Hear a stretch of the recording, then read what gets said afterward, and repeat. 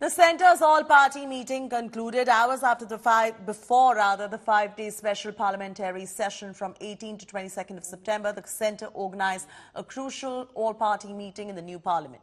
Mega India Today scoop coming in. Congress and NCP's Ajit Pawar faction demanded the centre to bring women reservation bill. Meanwhile, politics over one nation, one poll continues. Mallikarjun Kharge has launched a scathing attack on BJP by saying that one nation, one election agenda is absurd and it is a bid to distract from the pressing issues. Former President Ramnath Kovind on Saturday announced that during first meeting of the eight-member panel, the committee will make recommendations for holding simultaneous polls to the Lok Sabha, state assemblies, municipalities and panchayats. सरकार की क्या मुद्दा और सरकार सदन चलाने के लिए क्यों ये बेमौसम सदन को बुलाए, इस विषय को लेकर हमें भी थोड़ा भ्रम तो ज़रूर थी, लेकिन धीरे धीरे ये सरकार को जो रुख है वो हमें पता होते हैं, लेकिन फिर भी हमें ये जानकारी नहीं है कि अगले दिन और कुछ नहीं, कुछ होने वाला है या नहीं, क्योंकि सरकार की मनसा सरकार खुद जानते हैं। क्योंकि आज ही पता चले कि ये रेगुलर सेशन की तरह ही ये सेशन लाने की और सोच रही है।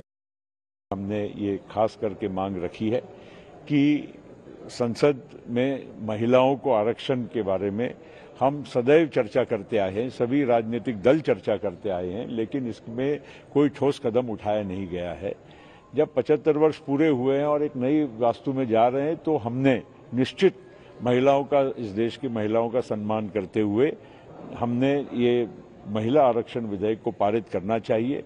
और मुझे लगता है कि सारी पार्टियों की इसमें आम सहमति मिलेगी।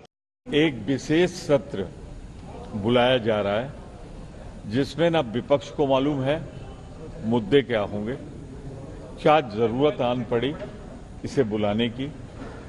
न सरकार को स्पष्ट रूप से मालूम है कि ये क्यों बुलाया गया है। तो कुल मिलाकर ये सरकार की तरफ़ से एक कोशिश है जानबूझकर कि आत्म प्रशंसा के अलावा इस सत्र में क्या आने वाला है, किसी को नहीं मालूम। No special session normal session in that case they have a duty to allow the members to have a possibility to have a question hour this time because 15 days are no more there. Question hour, special mention, what should be there. There is no doubt, unanimously, every party's opinion that the women bill should be passed in this session. That was the view of the whole session. So we beg for that.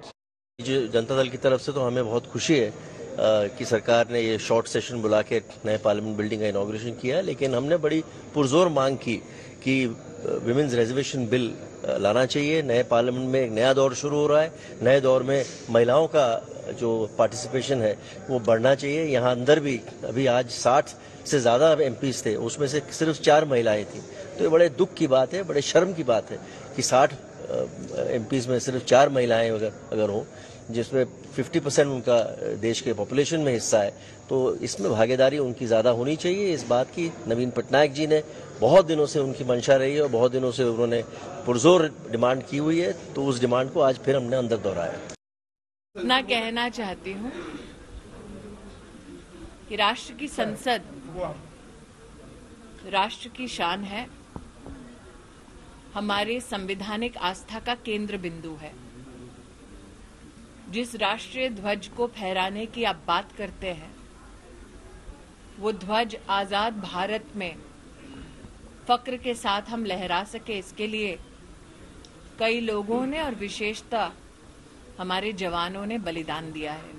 उस गर्व की अनुभूति Congress party क्यों नहीं करती, इसका जवाब गांधी खानदान के पास है, मेरे पास नहीं। चिदम्बरम जी को देखना चाहिए कि तमिलनाडु में कांग्रेस और उनके सहयोगी नेता, अब तो देश भर में कैसे संविधान को धजियाँ उड़ा रहे तार तार कर रहे हैं।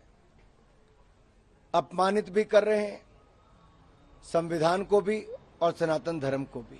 वन नेशन वन इलेक्शन से कांग्रेस को किस बात की चिंता है? क्या वो नहीं चाहते कि देश का समय बचे? देश की जनता का टैक्स पेयर्स का पैसा बचे? शायद कांग्रेस के पास नेता नहीं। जो दम रखता हो कि उनको देश में जिता सके।